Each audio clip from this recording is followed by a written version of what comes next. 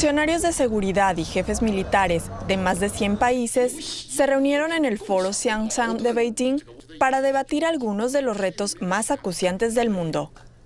En una sesión sobre la seguridad en Asia-Pacífico, el público llenó toda la sala.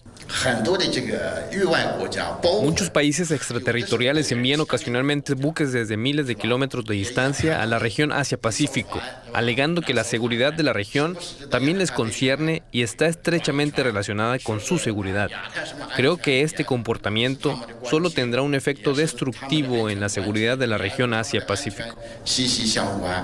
La agenda del foro muestra que gran parte de la atención se ha centrado en el mar meridional de China. Tras una reciente colisión entre buques chinos y filipinos cerca de Xianbinjiao o arrecife Xianbin, los viceministros de Relaciones Exteriores de ambos países mantuvieron conversaciones francas y en profundidad, un enfoque acogido con satisfacción por otras partes de la región del mar meridional de China. Solo cuatro de los países de la ASEAN son estados demandantes a este respecto. El resto, creo, están muy, muy preocupados por la situación, si la situación de esta región se vuelve incontrolable.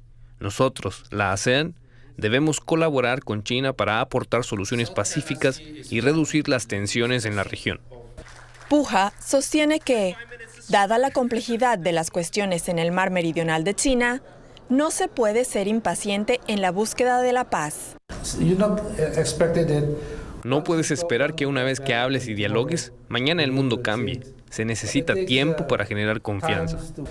Un delegado de Indonesia también subrayó la importancia de las conversaciones multilaterales cuando se trata de asuntos del mar meridional de China.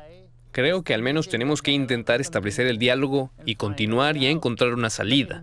Pero si no dialogamos y no confiamos los unos en los otros, ni siquiera para hablar, es inútil. China lleva mucho tiempo insistiendo en el diálogo con Filipinas y en la desescalada en la región del mar meridional de China.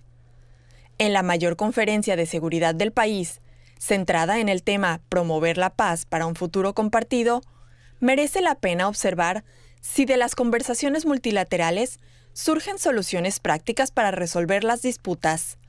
CGTN en español.